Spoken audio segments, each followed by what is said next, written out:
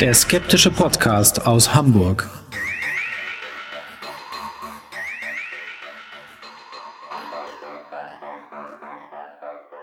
Hallo und herzlich willkommen zum 244. Mal bei Huxilla, dem skeptischen Podcast aus Hamburg. Wie immer bei mir meine wunderbare Frau, die Hoax Mistress Alexa. Halli, hallo ihr da draußen. Schön, dass ihr wieder mit dabei seid. Äh, ich freue mich auf diese Folge ganz besonders und bin auch sehr glücklich, dass bei mir wie immer der wunderbare Alexander Hoaxmaster ist.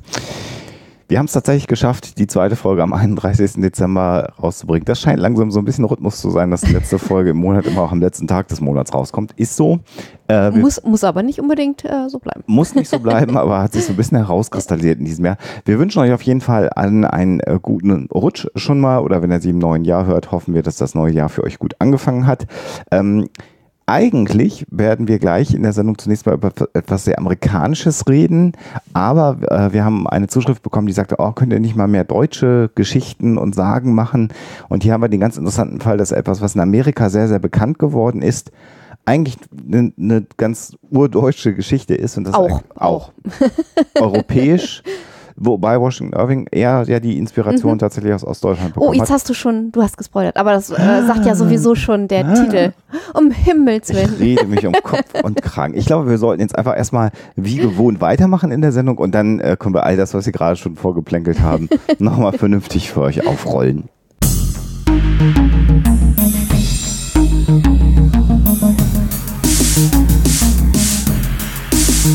Die Story der Woche.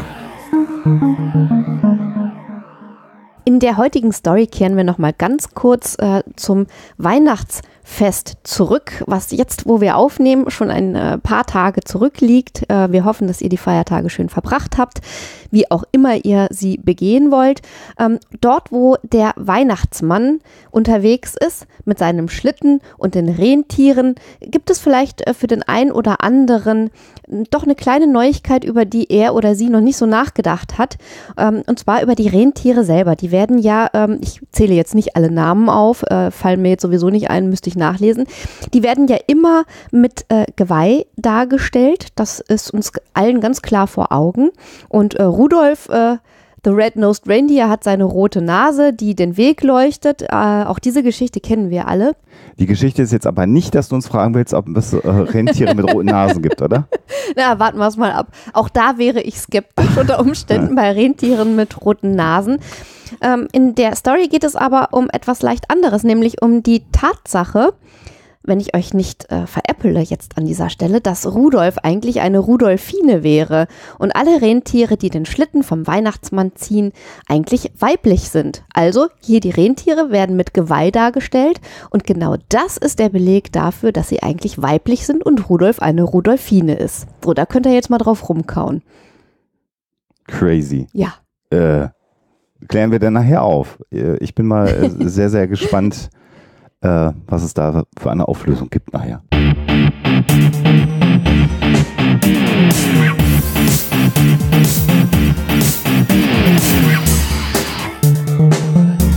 Thema der Woche. Ja, die Folge trägt den Titel Der kopflose Reiter und ich behaupte das jetzt mal, wahrscheinlich ist das gar nicht so, aber den allermeisten ist diese Geschichte eines kopflosen Reiters äh, spätestens bekannt seit 1999, der Kinofilm Sleepy Hollow von Tim Burton in den Kinos lief. Und der übrigens dann dieses Jahr Jubiläum hat, ne? Der ist auch 20 Jahre so alt geworden, Jetzt ja. So gerade noch so eben, so ein paar Stunden lang. Genau. wo wir aufnehmen. Und der ist ja auch so ein, so ein Klassiker, der inzwischen, glaube ich, äh, Halloween insbesondere in den Vereinigten Staaten ständig läuft und dieses Bild dieses kopflosen Reiters ähm, hat sich doch sehr auch in unser popkulturelles Gedächtnis eingebrannt. Und man verbindet das eben genau mit diesem Film, äh, mit, ähm, ach, wie heißt der Schauspieler denn? Johnny Depp? Äh, nee, Christopher Walken, meinte so, ich jetzt. Achso, achso, der, als der Hesse. Der genau. Hesse, als kopfloser äh, mhm. Reiter, äh, wirklich sehr, sehr abgefahren auch dargestellt. Ähm, und das Verblüffende daran ist, dass dieser Film eine, sagen wir mal, freie Adaption einer Geschichte von Washington Irving ist. Den hatten wir übrigens ja auch schon in der Vergangenheit in der Sendung mit dem Ralf Gabuschnik, mhm. wo wir über die flache Erde genau. geredet haben. Auch da war äh, Washington Irving ja einer der Einflussfaktoren mit Christoph Columbus, ne? mit Christoph mhm. Columbus dieser fiktiven Biografie von Christopher Columbus, also eben ein sehr, sehr einflussreicher amerikanischer Schriftsteller, der ja eine Geschichte geschrieben hat, die Sleepy Hollow heißt die jetzt aber im Grunde genommen nicht ganz so viel mit dem Film äh, von äh, Johnny Depp zu tun hat. Wenn diese Geschichte interessiert, er kann sich die deutsche Übersetzung übrigens in drei Teilen in, in deinem Podcast anhören, mhm, Alexander. Genau, aber ich weiß jetzt nicht genau, welche Folgennummern äh, das sind, aber das können wir euch dann auf jeden Fall äh, unter der Folge verlinken. Und ähm, ja, in drei Teilen könnt ihr da die gesamte Originalgeschichte, natürlich übersetzt, äh, von Washington Irving äh, hören, äh, die 1820 erschienen ist. Und da könnt ihr dann mal selber vergleichen, äh, wie viel die nun mit dem Film zu tun hat. Ähm, wobei wir natürlich hier auch gleich äh, so, ein, äh, so eine kleine Gegenüberstellung machen werden mhm. zwischen den beiden Geschichten. Ja, also ähm, Folge 32 bis 34 ah, der Black Street -hmm. Stories äh, sind Sleepy Hollow. Kann ich dir mal gerade einfügen. Genau. genau. Ja, also äh, die Geschichte für alle diejenigen, die jetzt Sleepy Hollow im Grunde genommen nicht kennen, die erzählt wird, bleiben wir zunächst mal erstmal im Film, ist die Geschichte eines jungen New Yorker Pathologen vielleicht, bevor es diesen Beruf wirklich gegeben hat, Polizisten, der sich Polizist für Pathologen fast so ein bisschen wie na Profiler wäre jetzt zu viel gesagt, aber äh, er hat so was Sherlock Holmes artiges auf jeden Fall. Genau, also so ein eigentlich ist er, glaube ich, Constable, ne? Mhm. Ähm, also mhm. normaler Polizist, der aber so die Anlehnung hat, die moderne Forensik zum, an der Grenze zum neuen Jahrtausend, also wir reden über das Jahr 1799, ähm, äh, ja, zu etablieren. Das ist sein Ansatz und der wird also nach Sleepy Hollow geschickt in so ein kleines Kaff. Eigentlich ist äh, Ichabod äh, Crane, gespielt von Johnny Depp, ein Charakter, der fast äh, Skeptiker zu nennen ist. Also ein ja. wissenschaftlich kritischer Mensch, der auch am Anfang des Films mit dem bestehenden Rechtssystem, was irgendwie es auch mit den äh, Regeln nicht so genau nimmt,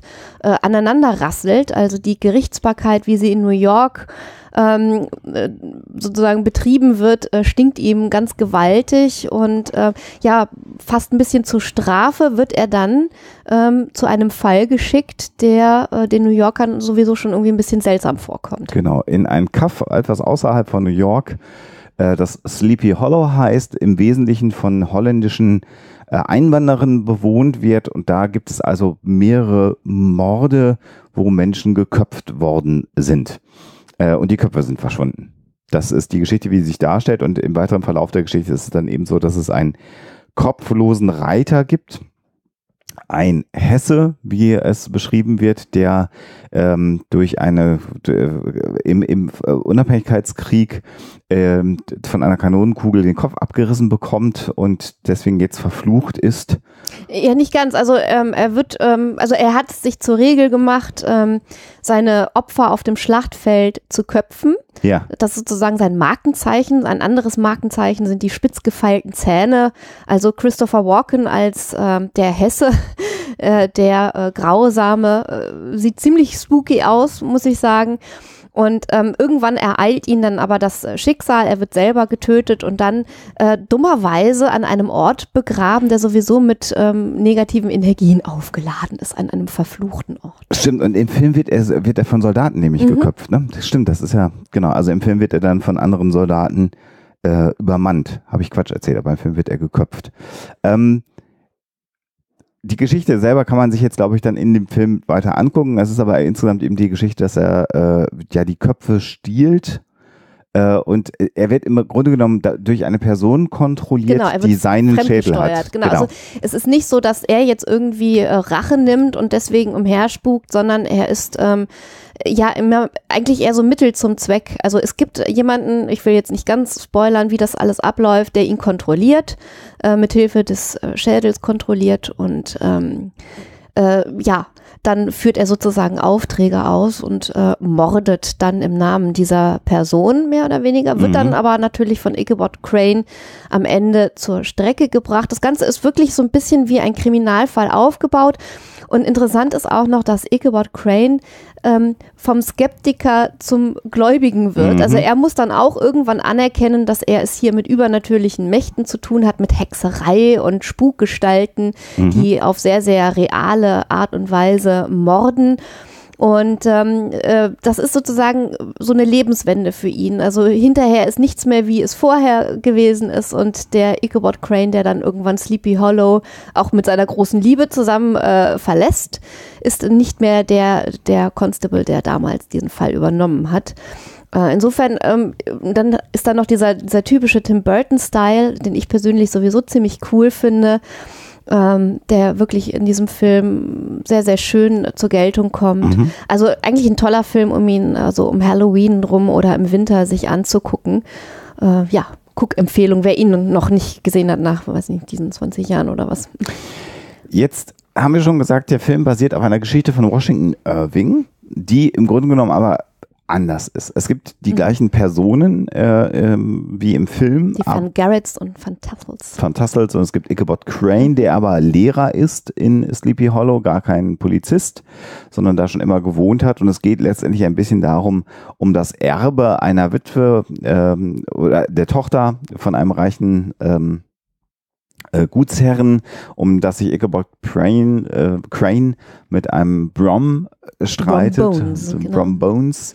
Und äh, in dieser Geschichte taucht dann irgendwann auch ein kopfloser Reiter auf. Wie gesagt, man kann es beim Blackstreet Stories hören. In der Geschichte selber von Washington Irving wird aber gar nicht klar, ob es sich hier um einen Streich handelt, im weitesten Sinne, der gespielt wird, ein Einschüchterungsversuch, um Ichabod Crane aus Sleepy Hollow zu vertreiben, oder ob es tatsächlich ähm, ein kopfloser Reiter gewesen ist, der ihm begegnet ist. Und hier äh, in, bei Washington Irving ist es auch ein Hesse tatsächlich, aber hier schon die erste Variation, ein Hesse, dem tatsächlich durch eine Kanonenkugel im Bürgerkrieg der Kopf abgerissen wird. Also vielleicht doch noch, um ein bisschen, zumindest ein ganz bisschen mehr ins Detail zu gehen, ähm, bei Washington Irving ist es so, es ist schon eine Spukgeschichte, die erzählt wird, äh, gehört auch zu den ersten ähm, Exemplaren der Horrorliteratur ähm, amerikanischer Herkunft Mhm. sozusagen. Ähm, das Ganze wird aber trotzdem so ein bisschen in der Realität äh, verankert. Am Anfang heißt es, es handelt sich hier bei dieser Geschichte um Aufzeichnungen, die äh, gefunden wurden. Mhm. Also dem Ganzen wird so ein bisschen Realitätsanstrich verpasst. Die Gegend, in der das spielt, ist auch der Realität entnommen.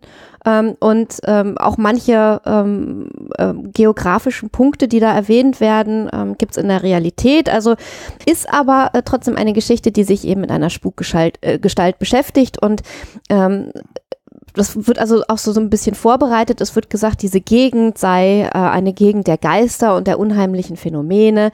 Ähm, dann werden in der Geschichte eben diese Sagen und Geistergeschichten erzählt, auch die vom kopflosen Reiter. Und das ist sozusagen die Bühne, die bereitet wird für diese Begegnung von Ichabod Crane mit diesem merkwürdigen Reiter, ähm, nach der er dann auch verschwindet und niemals wiedergesehen wird. Mhm. Und ähm, die Leute fragen sich dann irgendwie, ja, was ist denn mit ihm passiert? Hat er nur Reis ausgenommen oder ist er tatsächlich vom kopflosen Reiter entführt worden? Wie auch immer, das wird also nicht wirklich aufgelöst. Ja. Ähm, aber ähm, es hat so, so eine Mischung aus ähm, übernatürlichen äh, Geschichten, Horrorphänomenen äh, oder, oder Spukphänomenen und einem wahren oder angeblich wahren Bericht. Und jetzt, ähm, also da sind wir immer noch natürlich im amerikanischen äh, Kontinent verortet. Du hast gerade schon gesagt, das gilt so als die erste amerikanische Geistergeschichte der Li- Literatur, die dann bekannt geworden ist. Also nochmal 1820 ähm, ist das Ganze erschienen. Mhm. Mhm. Und äh, interessanterweise ist es aber so, dass diese Geschichte des kopflosen Reiters, so wird es heute rekonstruiert, Washington Irving tatsächlich von einer Reise äh, nach Deutschland mitgebracht hat. Genau, vielleicht können wir, bevor wir ähm, darauf zu sprechen kommen, nochmal äh, sagen, warum ausgerechnet in Hesse. Das ist nämlich auch ein ganz interessanter Hintergrund. Äh, wir befinden uns ähm, also im Amerika äh, amerikanischen Unabhängigkeitskrieg, also ähm, die äh, frühen USA, also sozusagen der, der Kern äh, dessen, was äh, die Vereinigten Staaten äh, werden, ähm, wendet sich gegen äh, England vor allen Dingen äh, und möchte sich also lossagen von der britischen Krone. Und die britische Krone reagiert auf diese Bemühungen, indem sie Söldner ankauft. Ich habe gerade gesagt, Bürgerkrieg ist natürlich Quatsch, das ist der Unabhängigkeitskrieg. So, genau. Danke, ja. Ähm, äh, Söldner ankauft und die meisten dieser Söldner äh, haben sie sich besorgt aus Hessen-Kassel. Also das ist tatsächlich ähm, historischer Fakt, dass ähm, Leute, also Soldaten aus Hessen-Kassel äh, im amerikanischen Unabhängigkeitskrieg gekämpft haben und zudem auch noch ziemlich berüchtigt gewesen sind. Mhm. Ähm, die waren ähm, also wirklich äh, weithin gefürchtet und dass ähm, Washington tatsächlich dann in der Schlacht bei Trenton diese Hessen besiegt hat, das war also schon irgendwie eine große Sache äh, und äh, hat sich dann vor allen Dingen hinterher so als ein Punkt herausgestellt, der so die Wende äh, mitgebracht hat. Ähm, also ein, ein wichtiger ähm, ja, Meilenstein in diesem äh, Unabhängigkeitskrieg kann man sagen. Und äh, vielleicht auch ähm, hier nochmal ganz kurz darauf hingewiesen, äh, das mit dem Soldatenwerben, ähm, das wird ja oft so dargestellt, als hätten die Werber da mit ganz unlauteren Mitteln äh, und falschen Versprechungen und vielleicht sogar ähm, illegalen Mitteln wie Leute betrunken machen und dann einfach die Unterschrift fälschen oder irgendwie sowas äh, gearbeitet. Es gab aber sehr, sehr strenge Regeln, was das Anwerben von Soldaten angeht. Und es war eigentlich eher so, dass man sich da finanziell ziemlich äh, überboten hat. Also dass die ähm, Soldaten, die da angeworben wurden und ähm, sozusagen auch verkauft äh, wurden äh, als Söldner, äh, heiß begehrt waren und auch finanziell irgendwie ziemlich ja, umworben wurden. Es gibt in Amerika sogar eine, eine Historical Society, die recherchiert haben möchte, dass es tatsächlich dann einen hessischen oder einen, einen Söldner aus Hessen-Kassel gegeben hat, dem tatsächlich mit, von einer Kanonenkugel der Kopf abgerissen worden ist. Das kann man mal so stehen lassen, ob das stimmt letztendlich und ob das wirklich äh, historisch gut zu belegen ist, sei mal dahingestellt. Aber da merkt man also diese Motivik zumindest, auf die Washington Irving aufsetzt, ähm, wo die herkommt und warum es eben ein Hesse ist, der da der ähm, kopflose Reiter in seiner Geschichte ist. Aber die grundsätzliche Idee des kopflosen Reiters, und da kommen wir jetzt nochmal hin, ist eine Geschichte, die er vermutlich von einer Reise durch Deutschland und zwar vom Nordrhein mitgenommen hat. Denn da gibt es so die ersten Berichte, ah, dann natürlich Irland, ich sehe, wie du mich mhm. anschaust. Es der Dullehahn, genau. Es gibt natürlich noch andere Gestalten, aber mh, Washington Irving war eben nicht in Irland unterwegs, sondern war am Nordrhein unterwegs und da gibt es eben auch Geschichten über einen kopflosen Reiter. Und da kommen wir dann plötzlich dahin, dass diese Motivik eher in Europa zu verorten ist und tatsächlich auch relativ stark, zumindest mit einem Arm in Deutschland. Ne? Mhm. Also der äh, kopflose Reiter oder die verschiedenen kopflosen mhm. Reiter, die es so als Sagengestalten äh, hier im deutschen äh, Raum gibt, ähm, haben eigentlich auch also sie haben gewisse Gemeinsamkeiten, aber es gibt auch durchaus äh, in den verschiedenen Sagen Unterschiede. Mal ähm, ist es so, dass die Begegnung mit dem kopflosen Reiter, also die immer nachts stattfindet natürlich, ähm, so ist, dass er aus dem Nichts erscheint. Manchmal sieht man ihn auch aus einer Gruft äh, oder einem Grab herausgaloppieren. Ähm, das ist übrigens dann eine schöne Anspielung nochmal an den Film Sleepy mm, Hollow, genau. weil da nämlich ähm, sozusagen das Grab des Hessen an einem Baum ist. Der Baum der Toten ist auch gleichzeitig der Eingang Eingang sozusagen in die Unterwelt, in die Hölle. Und aus diesem Baum sieht man ihn, das finde ich ziemlich gut gemacht, mit seinem schwarzen Ross äh, herausgaloppieren, das sich dann so irgendwie zwischen den Wurzeln mhm. ähm, durchzwängt. Äh, mhm. fand ich damals, ähm, als ich den so zum ersten Mal gesehen habe, sehr, sehr spooky ähm, und äh, ist eigentlich ein sehr interessantes Motiv. Also das haben wir auch in dem Film Sleepy Hollow, da hat sich Tim Burton ein bisschen inspirieren lassen eventuell. Mhm. Ähm, und jetzt muss man unterscheiden, ähm, der ähm, kopflose Reiter ist im Gegensatz zu vielen anderen Spukgestalten, über die wir hier teilweise bei Huxela auch schon gesprochen haben, also die weiße Frau zum Beispiel, kein Geist. Er ist richtig greifbar, Handfest. Genau. spürbar. Genau. Er manifestiert Und sich in, in, in, in Materie sozusagen. Genau, genau. Und ähm, damit ist er im Prinzip ähm, nicht äh, eine, ein, ein Spukphänomen, also ein, ein körperloser Geist, sondern ein Wiedergänger, mhm. ein Leichnam, der aus dem Grab aufersteht. Wir haben ja auch schon öfter mal äh, über die Vorläufer der Vampire gesprochen, also die Leichname, die einfach ähm, nicht äh, ja ihre Grabesruhe einhalten, sondern einfach aus dem Grab wieder auferstehen oder im Grab dafür sorgen, dass die Lebenden äh, auch versterben, dass sie also sozusagen ihre Lieben nach sich ziehen äh, mhm. in den Tod, also die sogenannten Nachzehrer. Ähm, und auch der, der kopflose Reiter oder die kopflosen Reiter sind eigentlich eher in diesen Bereich ähm, einzuordnen. Und jetzt ist es so, wenn man den kopflosen Reitern begegnet, ist es eigentlich nicht so wie im Film, dass sie also umherziehen und die Leute köpfen aus den verschiedensten Gründen oder sich eben aus dem Grab heraus rächen wollen, sondern äh, sie sind eigentlich mehr so ein, äh, eine Mahnung, manchmal auch ein Omen, mhm. dass etwas Schlimmes passiert. Ähm, und wer ihn sieht, der sollte tunlichst dafür sorgen, ihn nicht zu berühren, denn diese Berührung ist wirklich schwierig, denn da kommt sozusagen die Kraft des Wiedergängers zum Tragen. Ähm, wenn man nämlich als Lebender diesen Wiedergänger berührt, dann verfällt man selber auch körperlich und muss dann schließlich sterben. Mhm. Ähm, also da haben wir dieses Wiedergängermotiv ähm, eines ähm, Untoten, der aus dem Grab aufersteht und die Lebenden schädigt, äh, ganz stark vertreten beim kopflosen Reiter. Interessanterweise gibt es dann aber auch eine ganze Reihe von Geschichten über diesen kopflosen Reiter, ähm, äh, wie man ihn sozusagen äh, abwenden kann mhm. oder sogar erlösen kann. Genau, also es gibt ähm, äh, vielleicht noch kurz ähm, zu dieser äh, Wiedergängergeschichte eine Version in den Bremer Sagen von äh, Polkert. Polkert, ganz wichtiger Erzählforscher, Volkskundler, äh, der auch ganz viele Sagen gesammelt hat, wo äh, ein paar Jungs irgendwie so einen Geisterzug, übrigens äh, nicht, äh, nicht Geisterzug, sondern einen Leichenzug sehen. Äh, Leichenzug selber ist auch ein ganz interessantes Motiv in den Totensagen. Also all das, worüber wir hier reden, das sind eher Totensagen. Ähm, also die sehen halt so einen Leichenzug und da ist halt auch so ein kopfloser Reiter und ähm, der, der gibt halt ähm, irgendwie einem dieser Jungs eine Ohrfeige, also auch ziemlich handfest. Mhm. Äh, und daraufhin äh, muss dann eben dieser Mensch äh, auch sterben oder wird krank oder wie auch immer. Äh, und da haben wir eben dieses Motiv auch. Aber genau wie du es angedeutet hast, äh, kopflose Reiter kann man besiegen, indem man ähm, für sie betet oder überhaupt ein Gebet spricht, wenn man sie sieht und sie eben nicht berührt. Genau. Äh, äh, einige Überlieferungen, sage ich mal, sprechen ja sogar davon, dass man ihn mit einem Grüß Gott ansprechen kann. Und allein das würde schon reichen.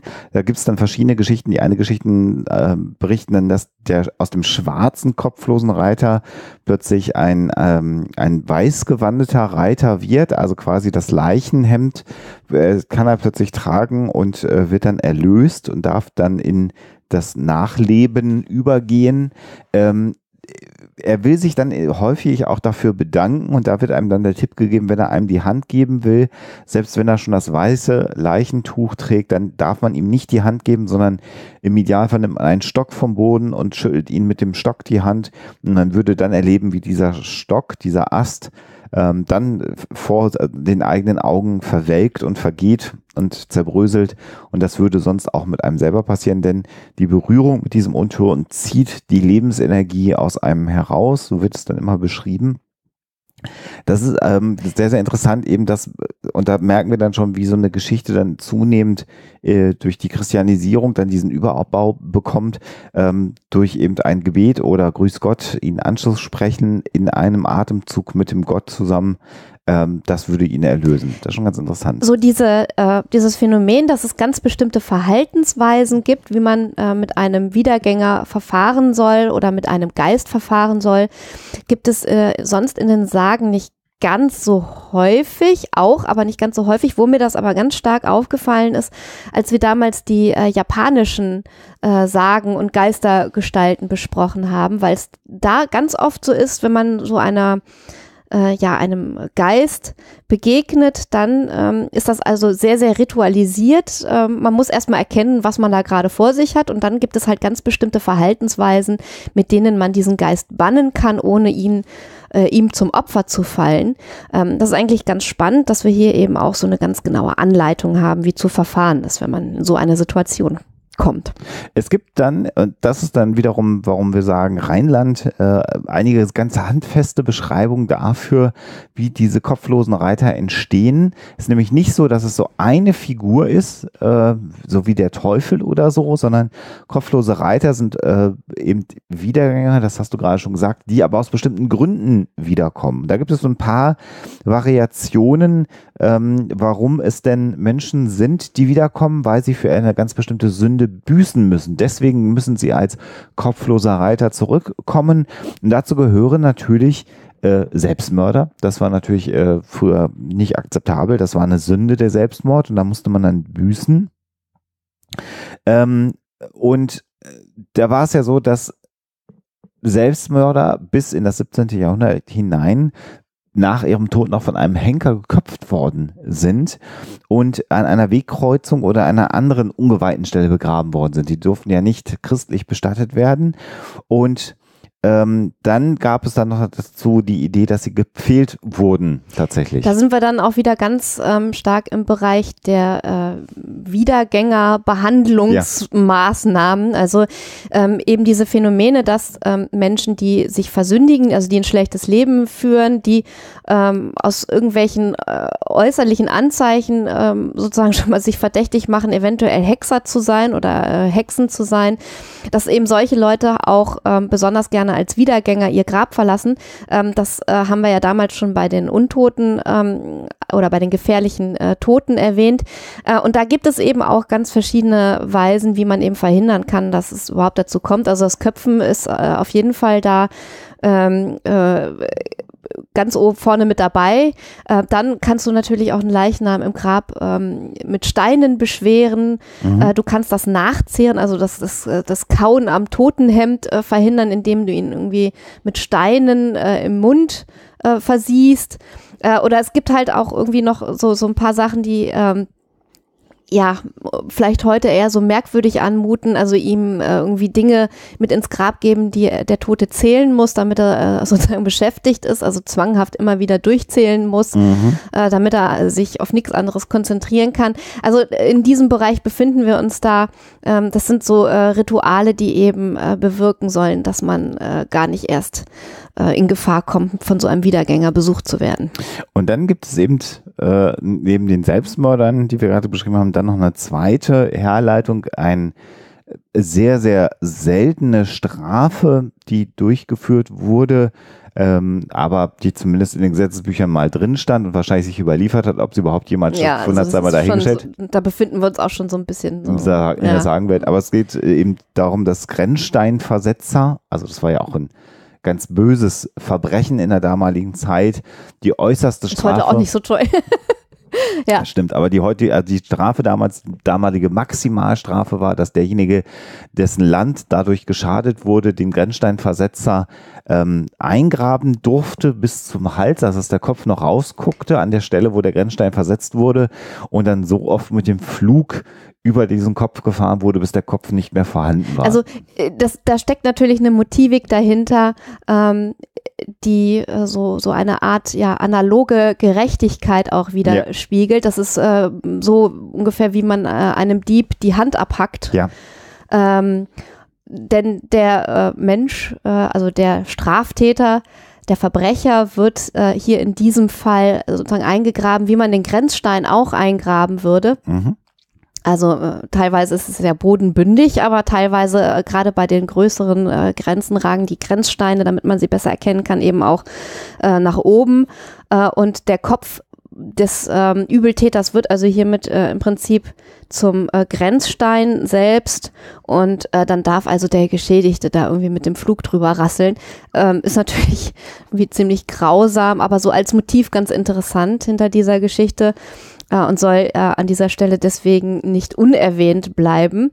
Ähm, das ist natürlich irgendwie so, so ein Teil äh, dieser Sage, äh, der auch äh, Verbindungen zu anderen äh, Sagengestalten schafft. Ich wollte es eigentlich nicht erwähnen, aber äh, hier an dieser Stelle sei es vielleicht doch einmal kurz erwähnt, denn auch der, ähm, das Totenheer, äh, was bei der wilden Jagd zum Tragen kommt, besteht aus Männern, Frauen und Kindern, die irgendwie entweder äh, zu früh zu Tode gekommen sind oder ähm, ja, irgendwie äh, kein gutes Leben geführt haben. Also kurzum äh, Menschen, die nicht sozusagen nach den Regeln der Gesellschaft gelebt haben und gestorben sind, wenn man es mal so formulieren möchte. Das heißt also, diese soziale Komponente, dieses aus der Gesellschaft herausfallen, entweder äh, durch eigenes Zutun oder durch unglückliche Umstände, haben wir ganz oft bei, bei Totensagen und überhaupt im Sagenbereich. Also diese gesellschaftliche, soziale Konformität oder Nonkonformität haben wir bei den Hexen, haben wir in den Totensagen, haben wir bei Spukphänomenen. Ähm, und das ist ein ganz, ganz zentrales Motiv, das sich eben auch äh, sozusagen im, in den Sagen eben die Regeln der Gesellschaft sehr, sehr stark widerspiegeln. Über die Rauhnächte und die wilde Jagd kann man eventuell vielleicht nochmal eine eigene Huxler-Folge ja. machen. Das wird, glaube ich, nochmal tragen. Ähm, wir haben schon gesagt, in Irland äh, eben soll es auch einen kopflosen Reiter oder kopflose Reiter, Plural, ähm, gegeben haben. Äh, Dorahan, wenn ich es richtig ausspreche. Genau, der den Kopf äh, unter dem Arm trägt, der ihn sozusagen mit dabei hat. Gleich. Genau. Mhm. Und da sind es dann häufiger Soldaten tatsächlich, die gefallen sind. Und da ist auch die Interaktion zwischen dem kopflosen Reiter und Menschen nicht so dezidiert beschrieben, wie das jetzt bei dem bei der deutschen äh, ähm, Sage ist, sondern da gilt der Dullahan eher so als Todesomen. Das mhm. heißt, wer äh, ähm, den, den kopflosen Reiter sieht, muss entweder selber sterben oder hat einen äh, Todesfall in der Familie vor sich. Ähm, das ist eher die Geschichte aus Irland. Insofern passt so eher so die deutsche Sage mehr noch in, in die Inspiration von Washington Irving äh, als der irische kopflose Reiter. Aber insgesamt durchaus ein, ein Muster. Und wenn man da weiterhin schaut, gibt es natürlich auch andere europäische Länder, die kopflose Reiter haben. Häufig eben irgendwas mit Syn Sagenmotive wandern ja auch. Also man kann natürlich von deutschen Sagen äh, sprechen, aber äh, es ist natürlich auch immer eine gewisse Fluktuation. Und äh, klar, gerade bei mündlicher Überlieferung äh, reisen Sagenmotive auch gerne mal durch die Gegend. Der kulturelle Wandel, nicht ja. wahr? Wahr? So also ist es. Ist genau, also es gibt, nicht, es gibt, nicht, die, deutsche Kultur, genau. Nicht die deutsche Kultur und auch ja. nicht die deutsche Sage, sondern Wie? alles ist natürlich einem ständigen Eben. Wandel unterzogen. Genau, Kultur ist keine Konstante. Aber das Büßer-Motiv, äh, das, das bedrohliche Omen, das findet man überall im, im kopflosen Reiter. Und es ist schon auch interessant, wie äh, etwas, was in der heutigen Zeit, glaube ich, weniger relevant ist, könnte ich mir vorstellen, ähm, als es das damals gewesen ist. Äh, liegt vielleicht auch einfach daran, dass es damals mehr Reiter gegeben hat als heute. Es gibt ja heute eher noch so diese modernen Sagen von äh, Motorradfahrern, mhm. äh, die dann auf der Autobahn geköpft werden aus irgendwelchen Gründen, wo das Motorrad dann noch weiterfährt. Ähm, das gibt es ja immer mal wieder. Auch hier gibt es keinen belegten Fall dafür. Wir können so eine Zeitungsmeldung.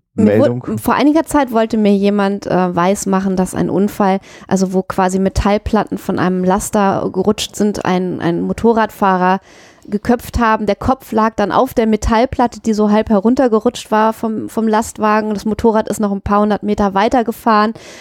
Äh, der Autofahrer, der das beobachtet hat, hat fast einen Herzkaschball gekriegt und ist in den Graben gefahren. Also ähm, jemand wollte mir halt wirklich verklickern, dass es genau so äh, mal passiert ist. Äh, ist eine moderne Sage, die sehr, sehr verbreitet mhm. ist. Und ähm, es gibt diese ähm, Sage, wie viele äh, moderne motorisierte Sagen auch schon mit äh, Pferdefuhrwerken. Also mhm. auch das hat eine etwas längere Tradition, das Ganze. Aber es ist natürlich nicht wirklich mit dem kopflosen Reiter, dem Wiedergänger zu vergleichen. Aber es ist zumindest irgendwie so, so ein ähnliches Motiv. Also von kopflosen Gestalten erzählen wir scheinbar auch heute gerne noch.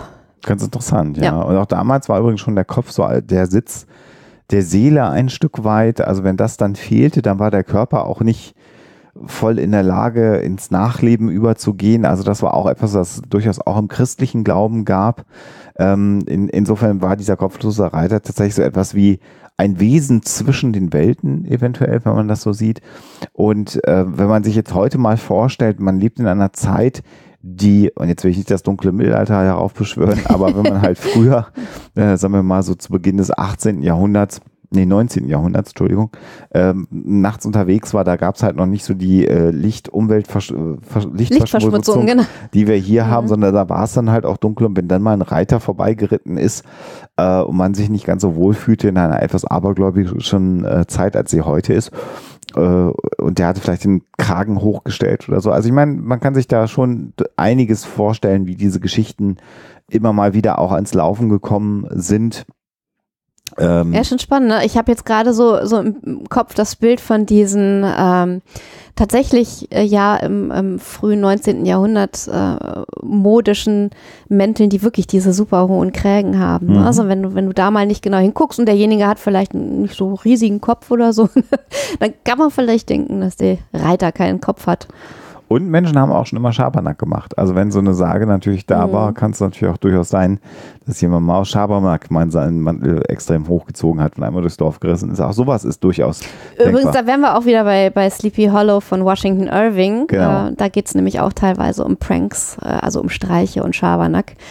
Und auch sehr, sehr abgefahren, ähm, hört es euch vielleicht wirklich mal an. Ähm, eine eine Rowdy-Gang, wenn, wenn man es so nennen kann, die in einem Dorf ihr Unwesen treibt. Auch das ist ja ein Phänomen, was man dann irgendwie später sehr, sehr oft hat in, in Filmen und in Büchern.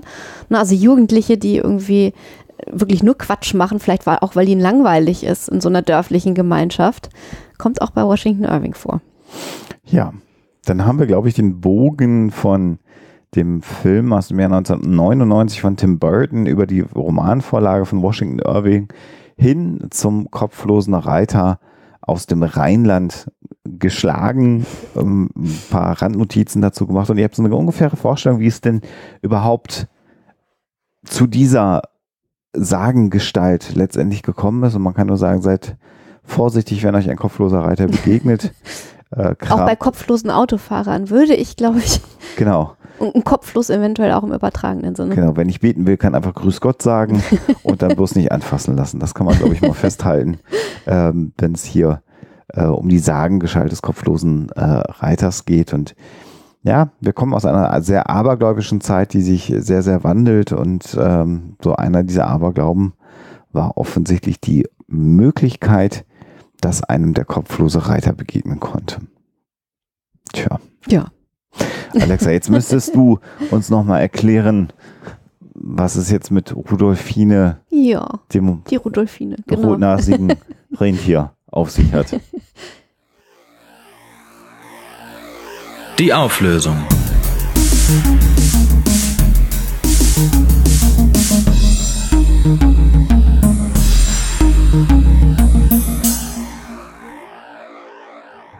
Ja, müsste es statt Rudolph the Red-Nosed Reindeer eigentlich Rudolfine, das rotnasi die, die rotnasige Rentierin äh, heißen? Ja oder nein? Und diese Geschichte stimmt tatsächlich. Es ist äh, wirklich so, wie ich es am Anfang beschrieben habe, die Rentiere mit Geweih im Winter, also zur Weihnachtszeit, die den Schlitten von Santa Claus ziehen, müssen weiblich sein. Und gerade das Geweih äh, ist der Beleg dafür, dass es sich genauso verhält. Ähm, bei den Rentieren haben sowohl weibliche als auch männliche Tiere Geweihe. Jetzt geht es eigentlich nur noch darum, wann haben sie denn kein Geweih? Also die stoßen ja auch ihre Geweihe ab, aber gerade im Winter brauchen die Weibchen ihr Geweih, um nämlich Futterstellen gegenüber anderen Weibchen zu verteidigen und äh, ja, Nahrung für sich und äh, ihre Kleinen zu sichern.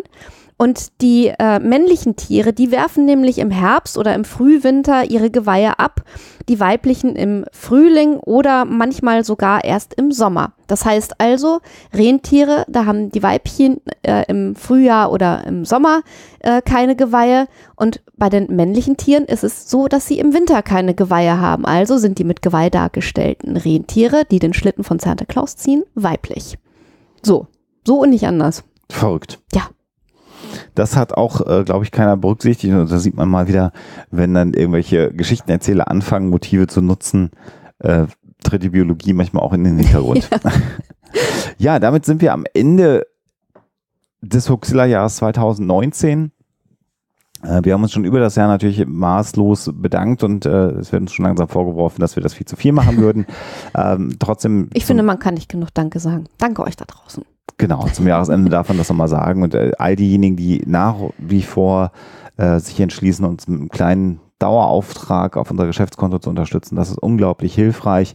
Ähm, jetzt auch gerade zu Weihnachten nochmal ähm, über unseren Amazon Affiliate Link äh, die Weihnachtsgeschenke bei Amazon zu kaufen, wer das tut, über Amazon zu kaufen. Auch das ist sehr, sehr hilfreich, weil wir da immer ein paar Prozent ähm, bekommen, ohne dass ihr dafür mehr bezahlen muss. Also all das äh, habt ihr getan. Das, ähm, dafür möchten wir uns bedanken. Auch Sachen, die für uns von un unserer Wishlist Mhm. äh, zum Oh ja. Geburtstag und zu Weihnachten geschenkt worden sind. Äh, ganz, ganz großartig. Das, äh, jetzt fehlt wieder die Zeit, das alles zu gucken, was ihr uns geschenkt habt, weil zum meisten Teil ja DVDs und Blu-rays sind. Ähm, und darüber freuen wir uns halt auch total. Ähm, vielen, vielen Dank für die Unterstützung.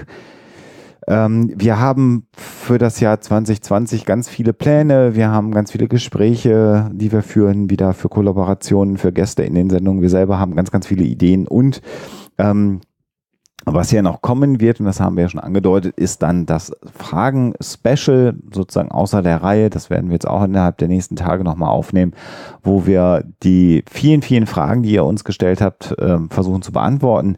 Es sind im Moment über 40 Fragen. Das wird, glaube ich, eine relativ lange Sendung. Da werden wir uns eine schöne Kanne Tee kochen, uns hier Oder auch hinsetzen zwei oder drei. um eure Fragen zu beantworten. Und wer jetzt panisch wird und sagt, ah, ich wollte die auch noch was fragen, das werden wir immer mal wieder machen. Äh, Insofern, wer Fragen an uns hat, kann uns die gerne per E-Mail auch schicken oder auf den sozialen Medien zuwerfen. Aber vielleicht sind eure Fragen ja auch schon dabei. genau, deswegen vielleicht jetzt erstmal das äh, erste Fragen-Special abwarten, gucken, ob eure Frage, die euch auf den Nägeln brennt, nicht beantwortet worden ist und dann könnt ihr sie uns ja schicken. Und wir hören uns dann natürlich im Januar wieder mit zwei, in Anführungsstrichen, normalen Folgen von Hoaxilla. Ähm, und da freuen wir uns drauf und wünschen euch jetzt allen den guten Rutsch spare ich mir mal, weil es wahrscheinlich gar nicht mehr so viele Leute heute hören, aber euch allen ein gesundes, äh, erfolgreiches, stressfreies äh, und vielleicht, wenn es geht, auch ärgerfreies Jahr 2020. Und wir freuen uns sehr, mit euch gemeinsam in das zehnte Jahr von Huxilla dann zu gehen. Das ist schon wirklich unglaublich. Ähm, und das liegt sicherlich auch in großen Teilen an euch und Mhm. eurer Unterstützung. Insofern vielen, vielen Dank an euch. Alles Gute und natürlich immer schön skeptisch bleiben. Tschüss. Der Hoaxilla Podcast ist und wird für immer ein kostenfreier Podcast bleiben. Aber ihr könnt unsere Arbeit gerne unterstützen mit Flatter oder als Patronen bei Patreon oder über PayPal oder über unsere Amazon Wishlist. Geht auf unsere Seite, klickt auf die entsprechenden Links und dann findet ihr dort die Informationen. Dankeschön.